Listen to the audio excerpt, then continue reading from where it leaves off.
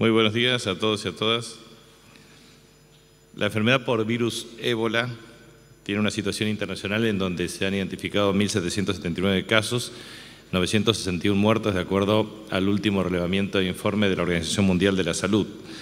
La República Argentina ha generado un sistema de vigilancia epidemiológica con la participación de las provincias argentinas y ha establecido eh, un sistema eh, de, estrategia de control para la diseminación en caso de ingreso del virus, eh, un sistema de alerta del sistema de vigilancia epidemiológica, el procedimiento ante un caso sospechoso, el manejo de muestras para diagnóstico y en general ha designado el Ministerio de Salud dos establecimientos para su atención, que es el Hospital El Cruz en Néstor Kirchner, en Florencio Varela y el Hospital de Pediatría Juan Garrahan y también ha solicitado a los Ministerios de Salud provinciales que designen e informen al menos un establecimiento en su respectiva eh, jurisdicción.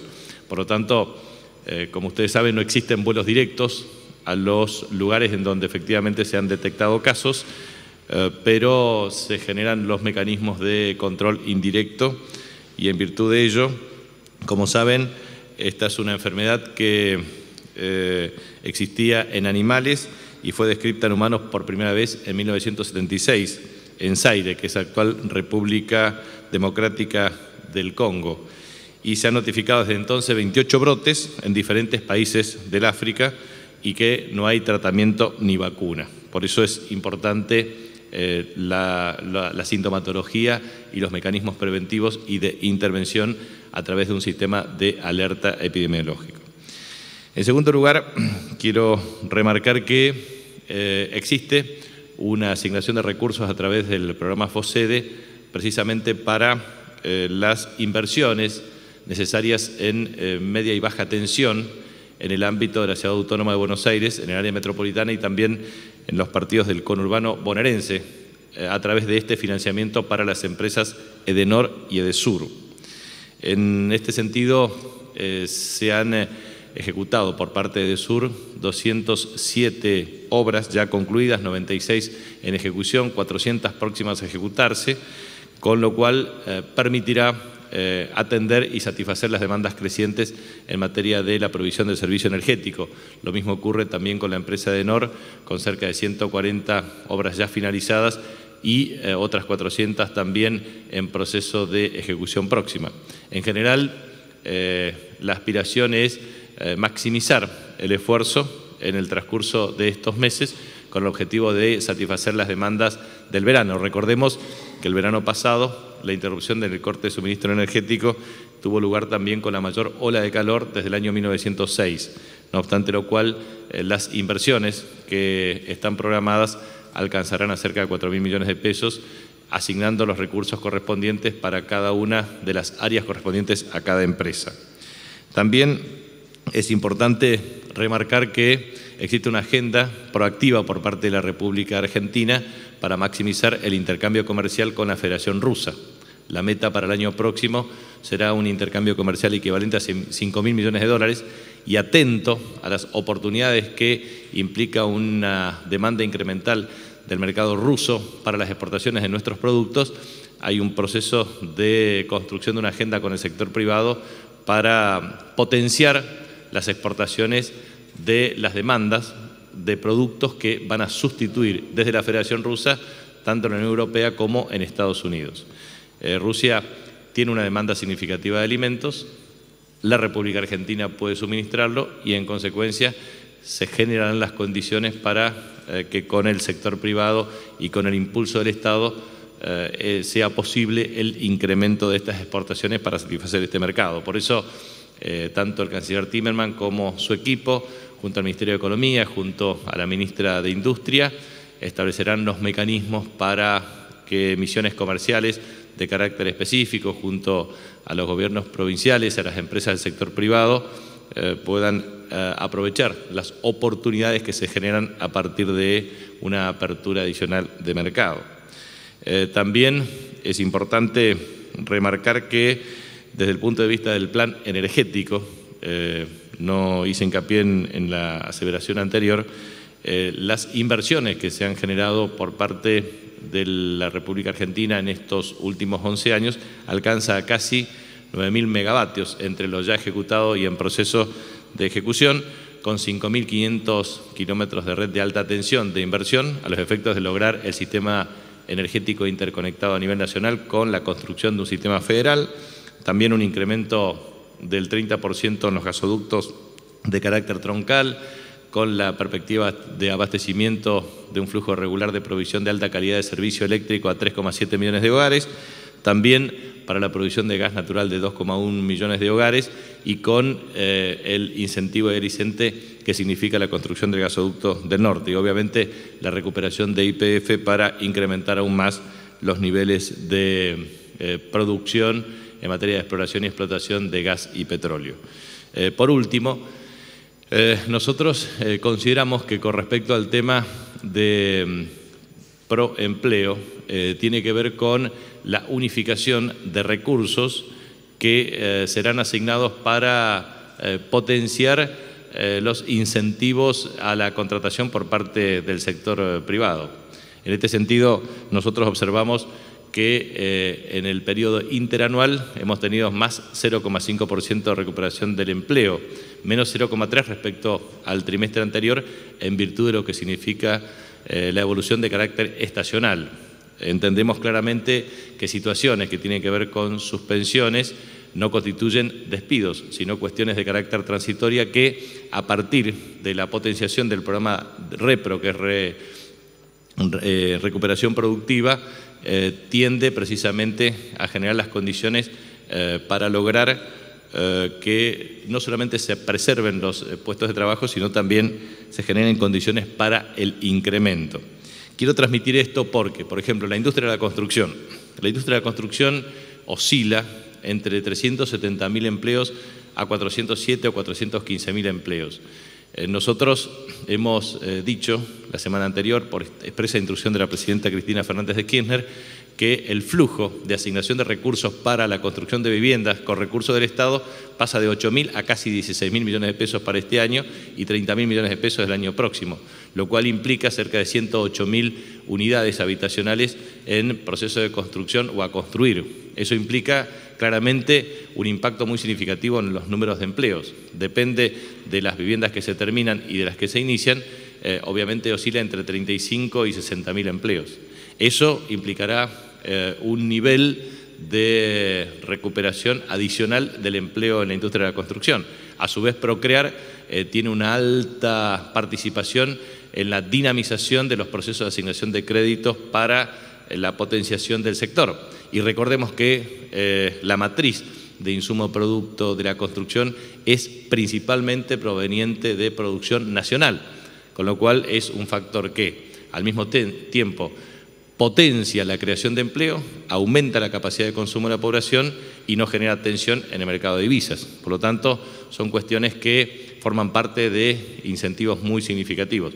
También hemos observado no solamente el impacto de la industria automotriz y de autopartes con la prestación de servicios de mm, comida o delivery, también para las prestaciones de estas mismas empresas. Por lo tanto, hemos identificado la situación de cada una de las empresas y estamos trabajando para la generación del uso de estos incentivos que permita no solamente la preservación del empleo, sino la perspectiva de seguir generando empleos en el transcurso de este y el próximo año.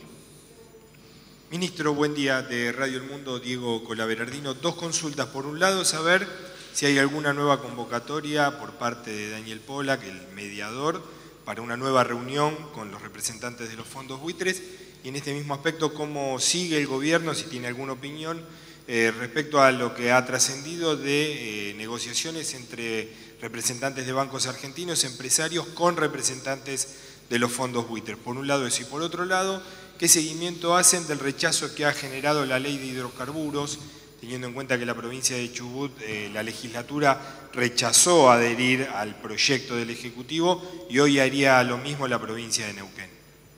Bueno, respecto al tema de eh, la el diálogo, mejor dicho, para establecer condiciones de negociación justas, equitativas, razonables, legales y sustentables para el 100% de los bonistas, como plantea la República Argentina, no hemos recibido notificación formal, solamente versiones periodísticas respecto a este tema. De manera que cuando exista notificación formal, seguramente la República Argentina responderá, como todo país soberano, eh, que a su vez ante la presentación en la Corte Internacional de la Haya, ha planteado claramente la violación de sus respectivas inmunidades como país soberano por parte de un poder del Estado, en el caso de Estados Unidos. Eh, en segundo lugar, lo que quisiera transmitir con respecto al tema de las negociaciones eventuales entre el sector privado no incumbe y no es responsabilidad del Estado. Y aprovecho la oportunidad porque muchas veces analistas y columnistas de diarios y revistas eh, ponen en mi boca cosas que yo nunca dije o reuniones en las cuales yo nunca participé. En primer lugar, quiero transmitir lo siguiente. Yo jamás he tenido una conversación telefónica con el señor Jorge Brito. Segundo, jamás he tenido una reunión con el señor Jorge Brito. Tercero, jamás he tenido una reunión con ninguna entidad representativa del sector financiero. Digo esto porque he visto innumerable cantidad de veces opiniones en este sentido. Eh, no me incumbe a mí esa responsabilidad. Obviamente el Banco Central y su presidente lo tienen que hacer por una cuestión básica de superintendencia financiera y cambiaria y es parte regular en el sistema de relaciones que tiene la máxima autoridad con el sistema financiero. Pero la participación del sector privado, eh, sea empresas, sea a través de empresas, sea a través de bancos extranjeros o bancos nacionales, desde el punto de vista de un eh, posible mecanismo de arreglo, es una cuestión entre privados. Esto puede generar desde la adquisición de una opción hasta la compra del juicio, hasta distintas opciones, pero eso no incumbe y no es competencia del Estado Nacional. El Estado Nacional ha fijado una posición que es una posición muy clara, explícita y contundente, que surge claramente del contrato de fideicomiso, que precisamente eh, está perfectamente estipulado en el prospecto. Entonces, nosotros hemos resaltado claramente desde la cláusula 3.5, 4.1, en fin, digamos, hemos propiciado, no solamente a través de los avisos legales, sino también a través de declaraciones públicas y a través de comunicados oficiales y a través de solicitadas, lo que para la República Argentina significa eh, la cuestión de negociación eh, que tiene que ver con el tema de fondos buitres. La posición de la República Argentina no es antojadiza, la posición de la República Argentina es la de un país soberano, que defiende la plena vigencia de un contrato, eh, un contrato que significa ley para las partes y que ningún juez de un modo unilateral puede romper o quebrar, porque eso obviamente atenta a la seguridad jurídica en el desenvolvimiento de las relaciones contractuales. Por eso eh, nosotros tenemos esta posición, eh, porque uno advierte muchas veces que muchos analistas creen que esta es una epopeya desde el punto de vista político que le genera solamente réditos al gobierno y confunden epopeya o épica con el verdadero sentido de la defensa del interés nacional de un país soberano. Eh, en definitiva, eh, ser un país soberano significa defender sus inmunidades y defender claramente su condición en el marco del ejercicio pleno de derecho internacional, ejercer sus derechos. Eso significa para la comunidad internacional la defensa de los intereses de un país soberano y sus respectivas inmunidades. Esto debe entenderse con absoluta claridad. Eh, el pueblo argentino, eh, con un modo contundente y mayoritario de casi 72%, apoya la posición que la Presidenta de la Nación sigue en esta materia, por una razón muy sencilla, porque tiene que ver con el sentido común y tiene que ver con eh, legítimamente defender los intereses de la República Argentina como país soberano. Entonces nosotros no podemos soslayar esa condición. Y segundo, eh, en segundo lugar, respecto al tema de la posición de las eh, provincias eh, petroleras. la verdad es que yo he dicho en varias ocasiones, y lo dije el otro día ante, en mi informe ante el Senado de la Nación, que precisamente la Presidenta de la Nación, la doctora Cristina Fernández de Kirchner, y también eh, el presidente oportunamente Néstor Kirchner, eh, transmitieron claramente como convencionales constituyentes de la reforma de 1994 la defensa del dominio originario de las provincias argentinas. Fue el mismo presidente Kirchner que promovió la ley corta para la reglamentación adecuada de esta reforma constitucional en una ley. Eh, tercero, precisamente eh, se generaron las condiciones eh, por parte de la Presidenta de la Nación para expropiar el 51% de IPF como una nave insignia para establecer mecanismos de profundización de estrategias de exploración y explotación hidrocarburífera, por una razón muy sencilla porque IPF en manos privadas tenía un declino, o sea, una caída profunda en los niveles de producción que nos llevó a importar energía o combustibles. Pero a su vez también el sector privado, a través de concesiones, no cumplía eh, los contratos correspondientes. Entonces, de lo que se trata aquí es de observar que la misma apropiación del 51% que promovió la Presidenta de la Nación de IPF, eh, el 49% de esa participación le corresponde a las provincias argentinas. Por lo tanto, definitivamente constituyen las provincias argentinas parte de la garantía de la defensa irrestricta de una política energética que tiende al autoabastecimiento. Y eh, paralelamente con eso, de lo que se trata es de discutir claramente estrategias para maximizar los procesos de inversión de aquí en adelante, eh, tanto en producción de gas y petróleo convencional como no convencional. Y en este sentido, eh, ¿Cuáles son los aspectos centrales del proyecto? Primero, unificación del sistema de evaluación de normas ambientales para la evaluación del impacto ambiental de las inversiones. Eh, en segundo lugar, plantear claramente la unificación desde el punto de vista de los mecanismos de imposición fiscal en los distintos niveles de gobierno para evitar un mecanismo de imposición que altere los procesos de localización de inversiones. Tercero, eh, establecer un sistema unificado de licitación pública de carácter internacional eh, para generar inversiones eh, que tengan un marco regulatorio que implique previsibilidad respecto a las mismas. son, este es el núcleo central que tiene que ver con procedimientos licitatorios, con evaluación del impacto ambiental y con los sistemas de imposición fiscal en los distintos niveles de gobierno, tanto provinciales como municipales, desde el punto de vista de los niveles de eh, previsibilidad respecto a la inversión y a la renta emanada de la inversión correspondiente, que me parece que son cuestiones centrales y que hacen a la previsibilidad de la inversión. Por lo tanto, entendemos nosotros que eh, es eh, absolutamente compatible con la estrategia de autoabastecimiento energético las propuestas que han emanado por parte del Poder Ejecutivo.